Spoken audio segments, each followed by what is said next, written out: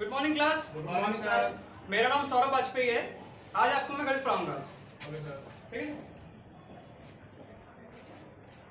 गणित पढ़ेंगे A plus B whole square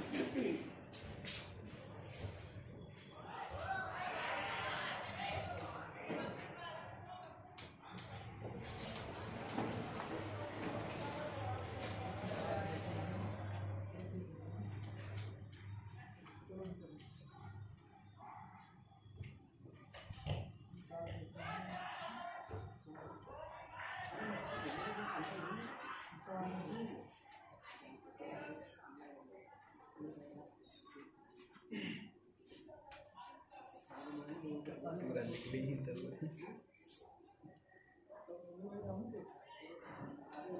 बच्चों आज आपसे मैं कुछ क्वेश्चन पूछूँगा जिसको उसका आंसर आता हो सामूहिक आंसर नहीं करेगा। ठीक इंडिविजुअली तो ये बताइए जिस मूल्य पर वस्तु खरीदी जाती है उसे क्या कहते हैं?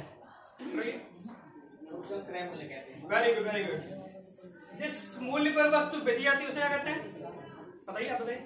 उसको विक्रय मूल्य कहते हैं। वेरी गुड वेरी गुड अच्छा ये बताइए सपोज़ दैट अगर क्रय मूल्य ज़्यादा है हमारा और विक्रय मूल्य कम है तो हमें क्या होगा? बताइए।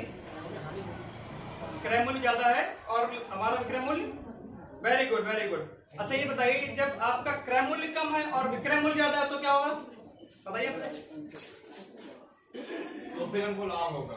वेरी गुड वेरी गुड लाभ और हानि प्रतिशत क्या है? कोई नहीं। तो आज हम लोग लाभ और हानि प्रतिशत के बारे में पढ़ेंगे। किसके बारे में पढ़ेंगे? आज हमारा टॉपिक क्या है? लाभ और हानि। लाभ और हानि हानि। लाभ और हानि। थोड़ा सा यहाँ लिख रहा हूँ। लाभ और हानि प्रतिशत ठीक है? ये है हमारा आज का टॉपिक ठीक? तो सबसे पहले लाभ बराबर क्या है बेटा? विक्रय मूल्य। माइनस क्रय मूल्य। माइनस क्रय मूल्य क्रय मूल्य। क्या लिखा हुआ? क्रय मूल्य। ये लिखा है लाभ बराबर विक्रय मूल्य माइनस क्रय मूल्य। ठीक है? अगर यही हमें निकालना लाभ प्रतिशत तो क्या करेंगे? पहले तो साइन लगाएँगे लाभ प्रतिशत का। ये प्रतिशत का साइन लगाएँगे। ठीक है? ये जो लाभ हुआ है हमें इसी को लिखेंगे हम यहाँ पर। कहा लिखेंगे? ये। और डिवाइडेड बाई क्या करेंगे? क्रय मूल्य। हमेशा क्रय मूल्य। एक्चुअल वैल्यू से देखेंगे? क्या लिखेंगे क्रय मूल्य ये लिखा है क्रय मूल्य और जैसे मल्टीप्लाई करेंगे सौ से बन जाएगा ये प्रतिशत। ठीक है? तो ये है लाभ का फॉर्मूला विक्रय मूल्य माइनस क्रय मूल्य जैसे कि आप डस्टर दस रुपए का खरीद के लाए। ठीक है? और इसे आप बारह रुपए में बेच दें। दो रुपए का प्रॉफिट होगा। ठीक? कैसे निकालना? विक्रय मूल्य माइनस क्रय मूल्य ठीक? और लाभ प्रतिशत निकालना है तो लाभ बटे क्रय मूल्य गुणे सौ। बात समझ आ गई? Sir. अच्छा एक क्वेश्चन बताइए।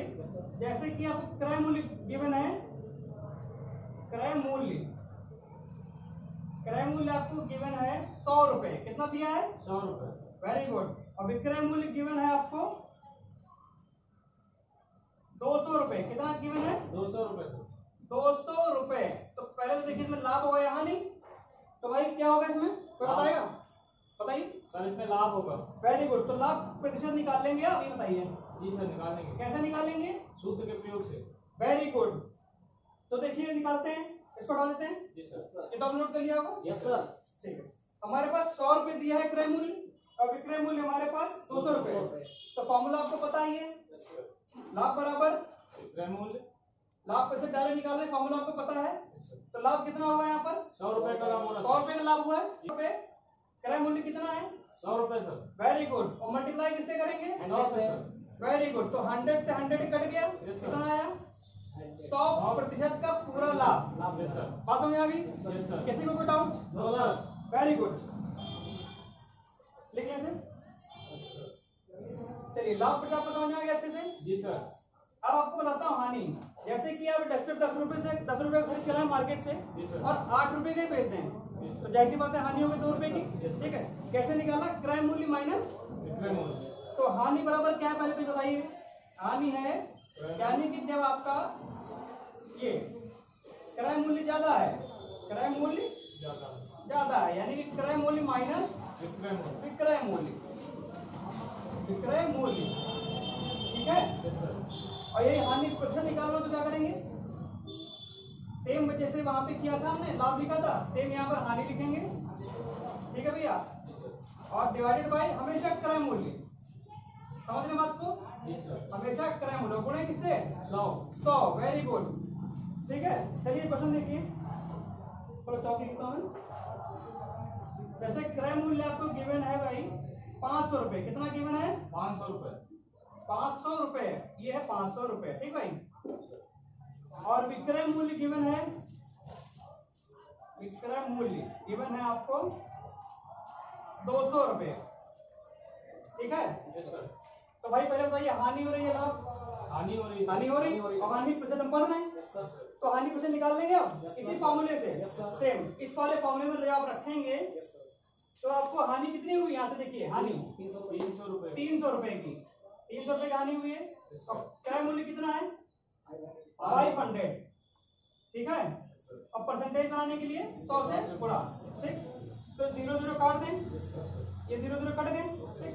ये पाँच से एक और पाँच गुना दस और बन गया लगे बीस ठीक है? तो बीस क्या है? साठ. तो यानी कि साठ परसेंट का हमें क्या हो गया? घाटा। घाटा गए हानि क्या ठीक है? बात समझ आई आपको? कोई डाउट चलिए ठीक है।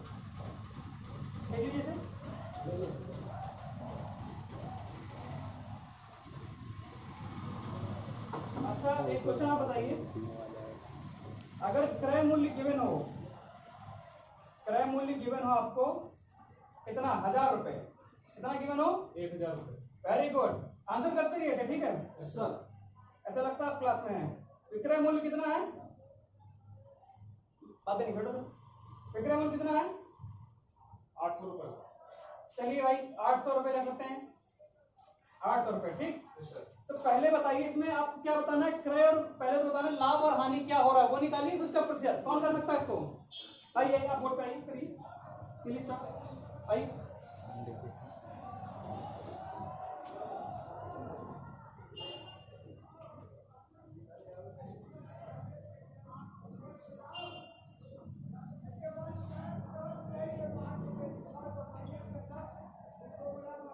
क्या हो रहा है बच्चे इसमें पहले? हानि हो रही है बहुत अच्छे दो सौ रुपये की हानि? ठीक है अब क्या निकालेंगे अब आप? हानि? प्रतिशत? प्रतिशत निकालेंगे। वेरी गुड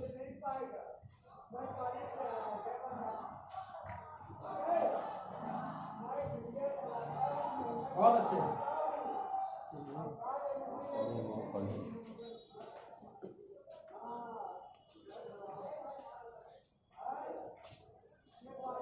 बीस वेरी गुड भाई सब लोग इनकी तालीम जाए काफ़ी अच्छा काम किया बहुत अच्छे बहुत अच्छे बहुत अच्छे।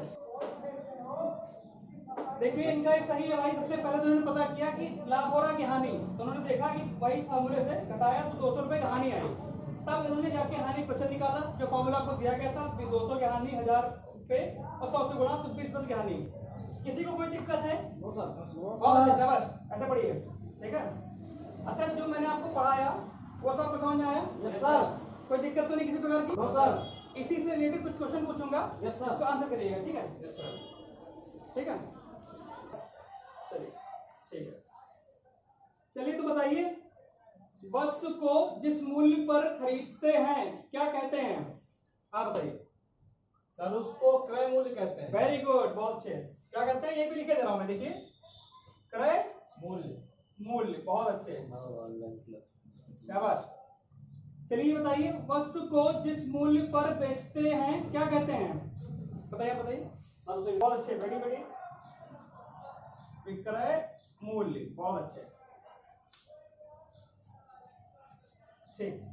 और एक और क्वेश्चन बताइए वस्तु को कम मूल्य पर खरीद कर अधिक मूल्य पर बेचना क्या कहलाता है? हाँ बताइए। लाभ कहलाता सर। बहुत अच्छे शाबाश। बैठ जाइए वेल डन यानी कि बताया गया समझाया गया तो लाभ और हानि के बारे में बच्चे समझ गए हैं। कोई दिक्कत? वेरी गुड तो आपको एक एक काम करिएगा।